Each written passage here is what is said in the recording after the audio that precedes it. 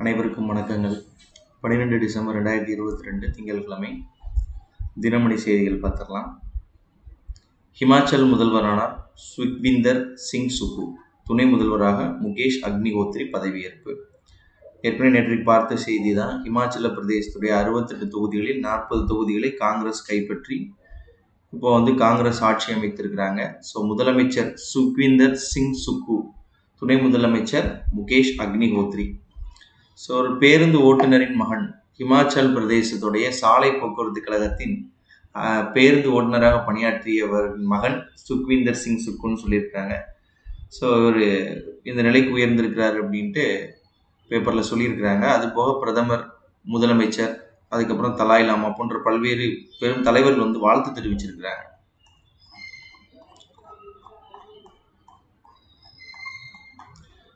நூற்றாண்டு கொண்டாடிய தெற்கு ரயில்வே தலைமையகம். சென்னை சென்ட்ரலில் அமைந்துள்ள தெற்கு ரயில்வே தலைமையகம் ஞாயிற்றுக்கிழமை தனது நூற்றாண்டு விழாவை கொண்டாடியது. சென்னையின் பாரம்பரிய கட்டடங்களில் ஒன்றாக விளங்குவது சென்னை சென்ட்ரல் ரயில் நிலையம் அருகே அமைந்துள்ள தெற்கு ரயில்வே தலைமையகம் சரா சரியாக நூறு ஆண்டுகளுக்கு முன்பு அதாவது ஆயிரத்தி தொள்ளாயிரத்தி இருபத்தி ரெண்டாம் தேதி டிசம்பர் பதினொன்றாம் தேதி அப்போதைய மெட்ராஸ் மாநிலத்தின் ஆளுநரின் மனைவி தி லேடி வெலிங்டன் சீமாட்டியால் திறக்கப்பட்டது. ஸோ தெற்கு ரயில்வே தலைமையகத்தை மெட்ராஸ் மற்றும் தெற்கு மராட்டா ரயில்வேயின் கட்டடக் கலைஞர் என். கிரேசன் வடிவமைத்திருக்கிறார். ஸோ இதற்கு ஆயிரத்தி தொள்ளாயிரத்தி பத்தொன்பது இதற்கு ஆயிரத்தி தொள்ளாயிரத்தி பதினைந்தாம் ஆண்டு பிப்ரவரி எட்டாம் தேதி அப்போதைய மெட்ராஸ் ஆளுநர் பென்ட்லாண்ட் பிரபுவால் அடிக்கல் நாட்டப்பட்டிருக்குது. ஸோ இந்த தெற்கு ரயில்வேயுடைய அந்த தலைமையகத்துக்கு வந்து இன்று நூற்றாண்டு விழாவை நேற்று கொண்டாடி இருக்கிறார்கள் ஒரு எடிட்டோரியல் பேஜில் பார்த்தீங்க அப்படின்னா உங்களுக்கு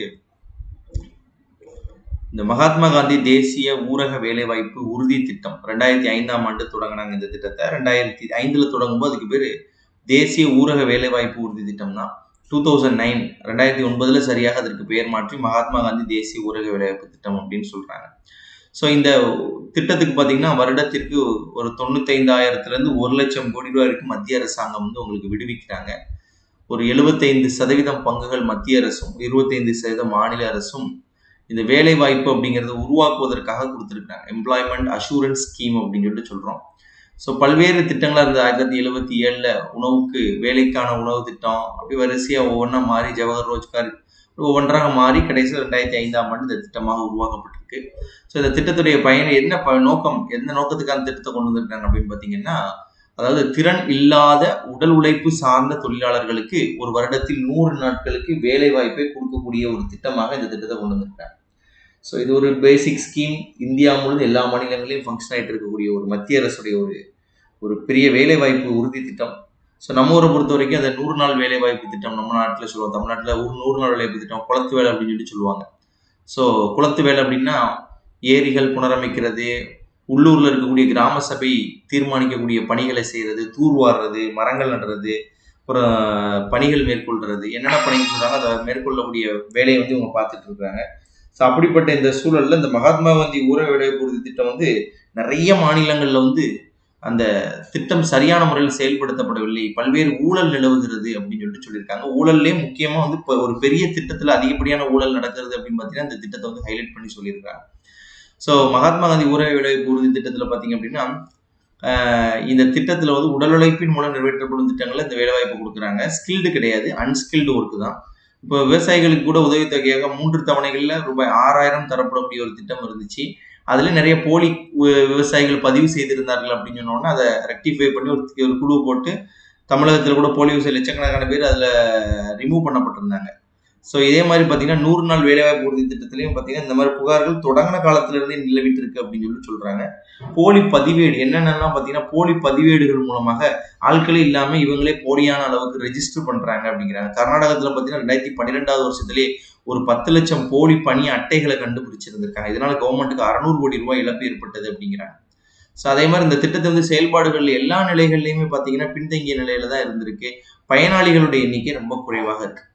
இந்த திட்டத்தை வந்து இந்தியா முழுவதும் செயல்படுத்துறதுக்கு பார்த்தீங்கன்னா ரெண்டு லட்சத்தி ஐம்பது லட்சத்துக்கும் அதிகமான கிராம பஞ்சாயத்துகளில் கிட்டத்தட்ட இருபத்தி ஒன்பதாயிரத்தி அறுநூத்தி பதினோரு கிராம பஞ்சாயத்தில் மட்டும்தான் ஒரு முறை சோசியல் ஆடிட் நடைபெறுகிறது. சமூக தணிக்கை அப்படின்னு சொல்லிட்டு சொல்கிறாங்க அப்போ இந்த சமூக தணிக்கை வந்துட்டு ஒரு முறைப்படுத்த வேண்டும் அப்படின்னு சொல்லி சொல்லியிருக்கிறாங்க. அதுக்கப்புறம் நூறு நாள் அப்படிங்கிறது கூட ஐம்பதுலேருந்து அறுபது நாள் தான் வேலைகள் கிடைக்குது அப்படின்னு சொல்லி சொல்கிறாங்க நூறு நாள் வேலைவாய்ப்புங்கிறது நிறைய பேர் கிடைக்கல. எழுநூத்தம்பத்தஞ்சு லட்சம் குடும்பங்கள் வேலைவாய்ப்பு பெற்றோம் அது எழுபத்தி ரெண்டு லட்சம் குடும்பங்களுக்கு மட்டும்தான்.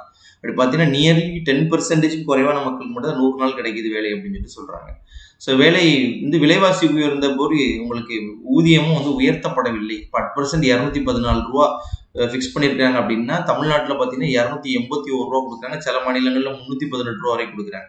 ஸோ இந்த ஊதியமும் சரியான டைரக்ட் பெனிஃபிட் ட்ரான்ஸ்ஃபர் மாதிரி அக்கௌண்ட்டில் ட்ரான்ஸ்ஃபர் பண்ணுற முறை தான். பட் இருந்தாலும் அக்கௌண்ட்டில் ட்ரான்ஸ்ஃபர் பண்ணுறதுக்கு மத்திய அரசு விடுவிக்கக்கூடிய நிதியின் அடிப்படையில் தான் உங்களுக்கு அக்கௌண்ட்ல வந்து பணம் போடுவாங்க. அப்போ டிலே ஆகும்.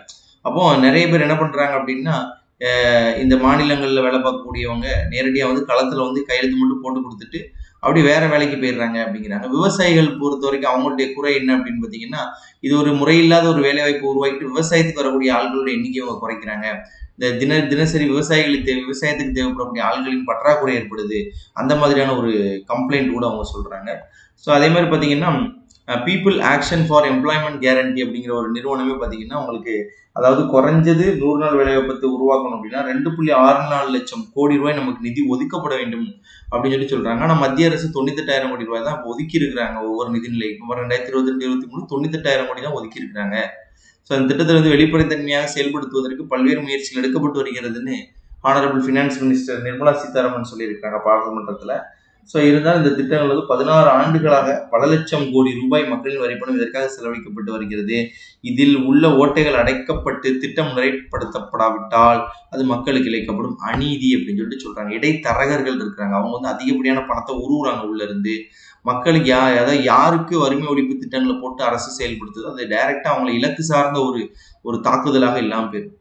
ஆற்றின் வருந்தா வருத்தம் பலரென்று போற்றினும் புத்தப்படும். அதாவது தக்க வழியில் செய்யப்படாத முயற்சி. முயற்சி பண்ணிட்டே இருக்க ஓகே தான். பட் வந்துட்டு சரியான முறையில் முயற்சி பண்ணணுமே. நீங்கள் செய்கிறது வந்து முயற்சியாக இருக்கலாம். ஆனால் வந்து சரியான வழியில் உள்ள முயற்சியாக இல்லைன்னா பலர் துணையாக நின்று அதை காப்பாற்றின போதிலும் அது குற்றமாகத்தான் மாறிவிடுகிறது.